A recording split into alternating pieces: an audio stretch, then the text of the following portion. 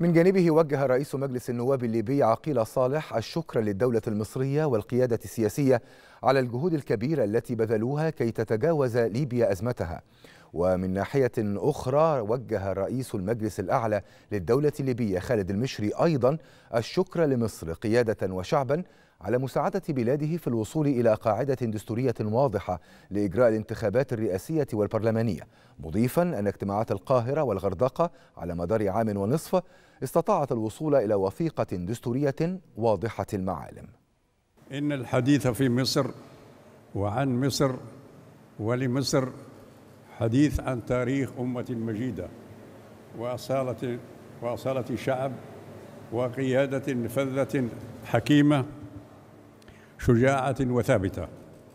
انحازت دون تردد لمصلحة ليبيا والليبيين لتجاوز أزمتهم ودافعت بكل وبدون كلل ومل مساندة الليبيين لتجاوز هذه الأزمة والعمل بكل جدية وصدق عن سيادة ليبيا وأوقفت التدخل الأجنبي في شؤون الليبيين. مصر الشقيقة الجارة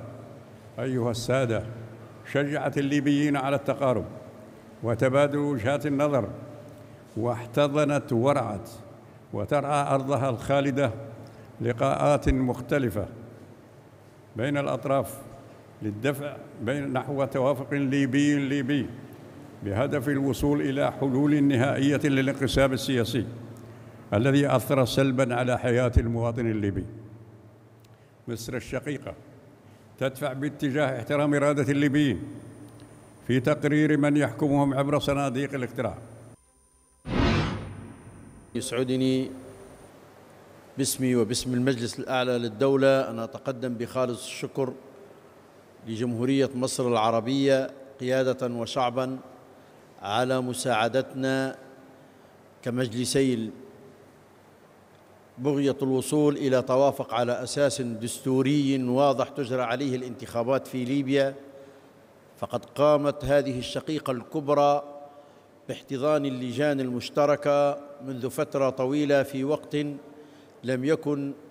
لهذه اللجان أن تجتمع في البلد. وبفضل هذا الجهد ذللت الكثير من المصاعب وأصبحت لقاء هذه اللجان ميسراً واستطاعت هذه اللجان في جولات حوار عديدة وباستضافة كريمة من الجمهورية المصرية أن تصل إلى وثيقة دستورية واضحة المعالم تؤدي بنا إلى المرور إلى القوانين الانتخابية إن شاء الله.